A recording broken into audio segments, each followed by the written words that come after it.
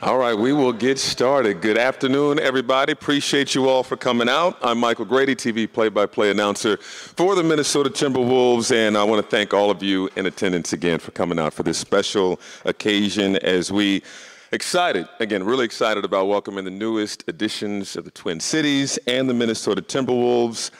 And uh, the Wolves have added to their talented core by acquiring forward Leonard Miller, the 33rd overall pick in the 2023 NBA draft, and drafting guard Jaylen Clark with the 53rd overall selection. Give him some love.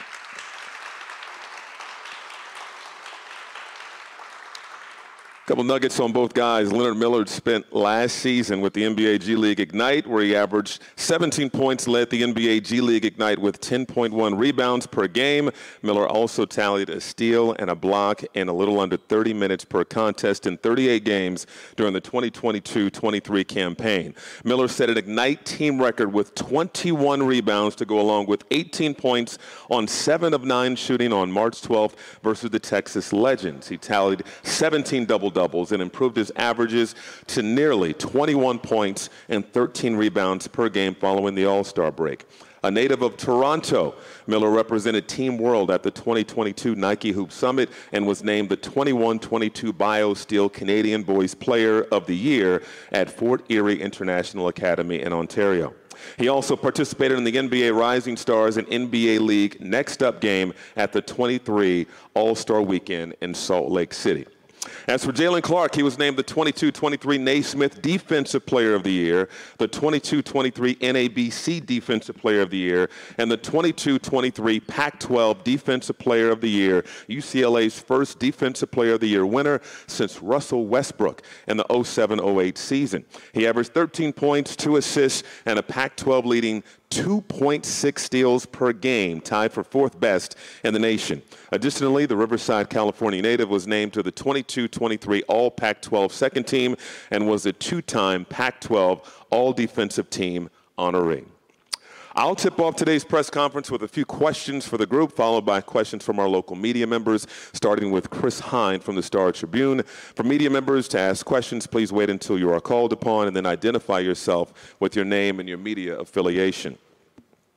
All right, first question is for team president Tim Connolly. What are you most looking forward to about what each guy can bring to the Timberwolves this season?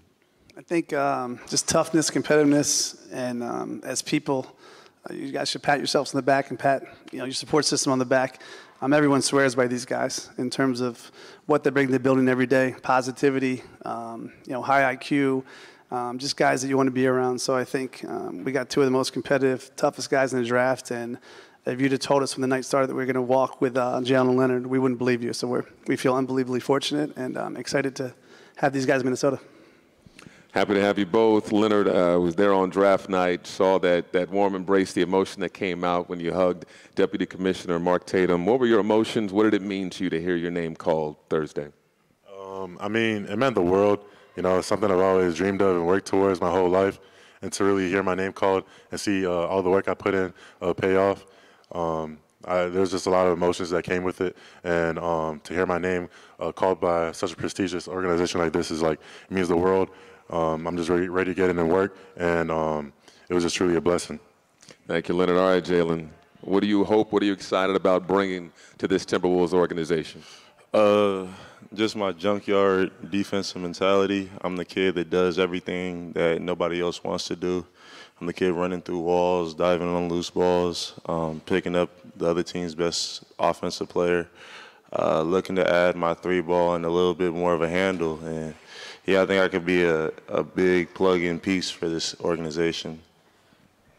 All right, we're going to open it up for questions now. Chris Hine up first. Just a reminder that this is being broadcast live, so wait until the microphone gets to you to ask your question. Chris? For Leonard, it seemed like you got better as the season went on last season. Kind of what was coming together for you uh, that enabled you to kind of take off as as the year went on last year? I mean, coming out of high school, uh, straight into the G League, um, like all you, I feel like all I needed was just reps and then um, uh, time to really watch film. And so uh, as like I just kept playing, um, getting used to like the pace, um, the NBA game and um, the players that came with it.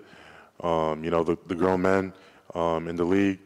Um, playing and then reflecting on film, and then always just working hard in practice, um, just uh, working my ass off to just get better. Um, all that stuff helped me definitely. For, for Jaylen, when did defense become kind of the, the, the big thing you wanted to hang your hat on in your in your career, and when did you realize that could be kind of the lane for you as a basketball player? Uh, I, oh, this is loud. Uh, I recognized pretty early. Um, my AAU team, I was with Evan Mobley, Onyeka Okongwu, Johnny Juzang, um, Evan Mobley, Isaiah Mobley. So we were loaded. So there wasn't a lot of shots for me to shoot. So the only way for me to get out there, I had to start picking up 94 four feet in like AAU, which wasn't seen a lot, but it kept me out there on the floor, and I just kept that with me and transitioned it to college. Jon Krawczynski here from the Athletic. Leonard, just it has been kind of a fast rise for you up through the ranks. Just how have you processed how quickly this has come about, and why do you think it is happening for you as as quickly as it has? I mean, um, you know, I always work so hard, and I'm always working towards um, um, these things that's that's happening to me. And so when it comes, um, I don't really get uh, surprised or I don't really get rattled by it. I just keep working um, uh, towards the next, and um, that's always just been my approach. Um, I just uh, stay level-headed and don't let it phase me too much.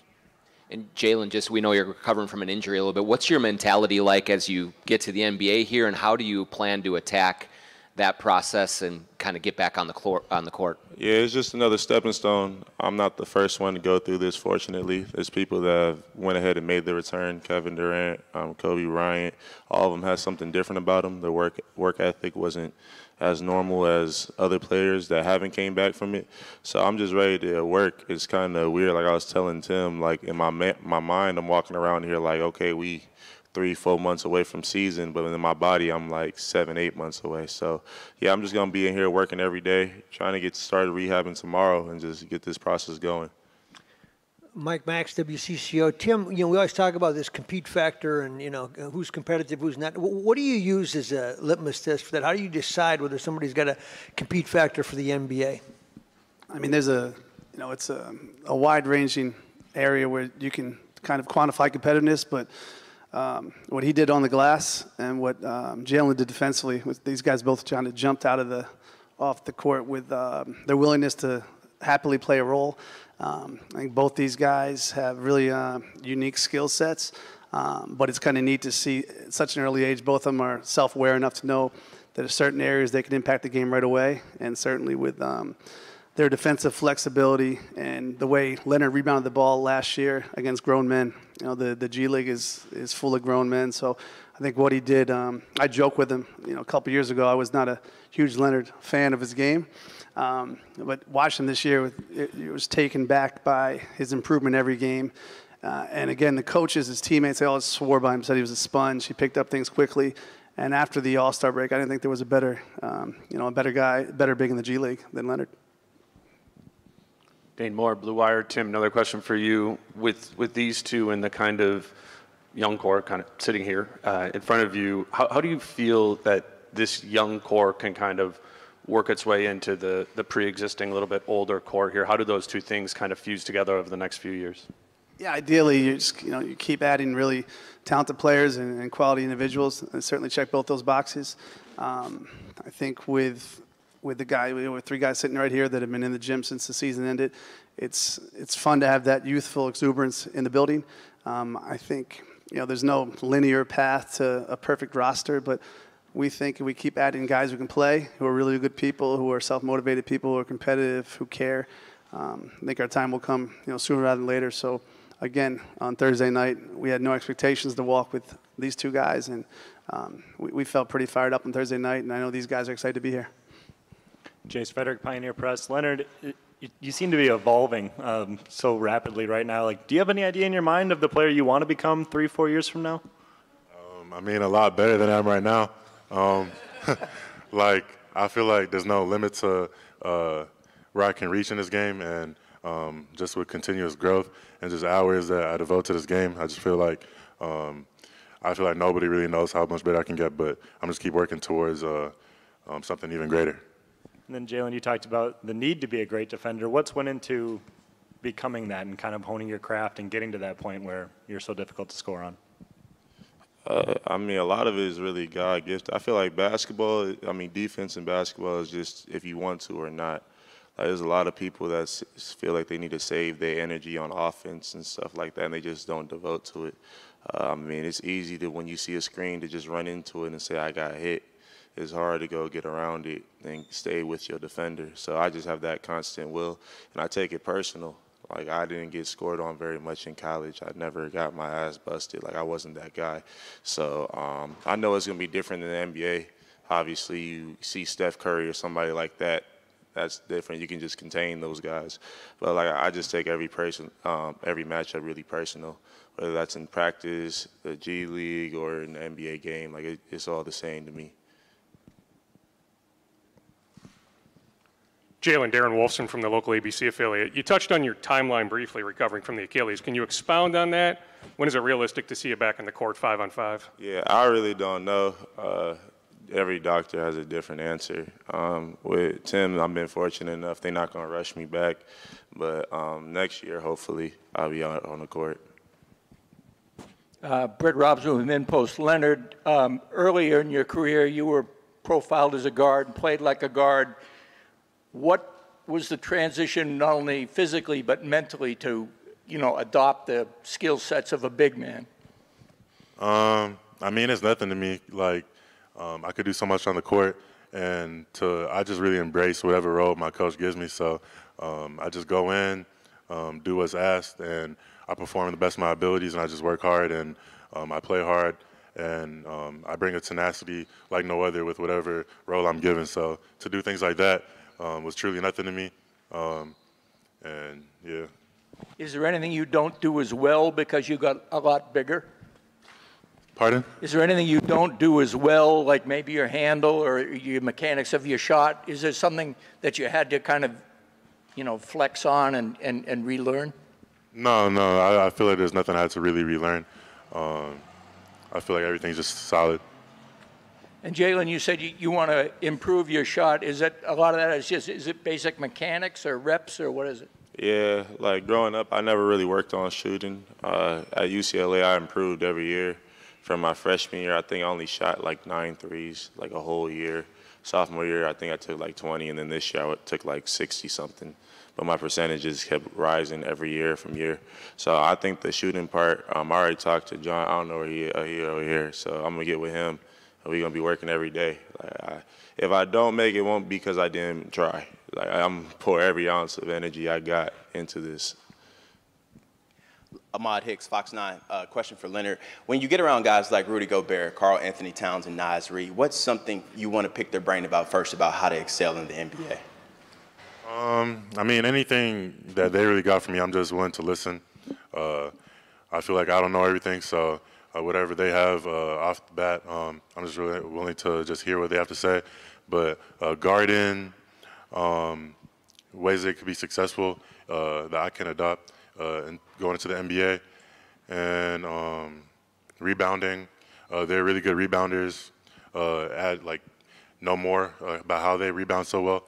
Um, I say things like that. Question for Tim. Uh, would you say that you guys really focus on having a lot of depth at the center position, seeing how you guys have, you know, three centers that may combine to make upwards of $90 million this season? What's the addition of Leonard like, you know, for you guys? Yeah, I think I don't really know what position Leonard is. I think to Britt's question, he grew up as a playmaking forward, so I think he can. I know he can guard three positions, and then offensively, we'll let uh, Coach Finch determine like where he could best be employed. Um, I think what's neat about um, the flexibility of our bigs is, um, you know, while Rudy's a pure five, we have some other guys who can play both the four and the five. Um, you know, offensively, um, we have a bunch of guys that their skill set allows them to do things all over the court that generally most bigs can't. So, um, again, specific to Leonard, um, I guess you're going to figure out what you are. Well, your coach will figure out what you are. But um, I think it's one of the things really exciting about Leonard. We just think he's a basketball player. All right, that concludes the Q&A portion of this press conference. We're going to invite photographers to take pictures of Leonard, Tim, and Jaylen for a few moments, so we'll get set up for that.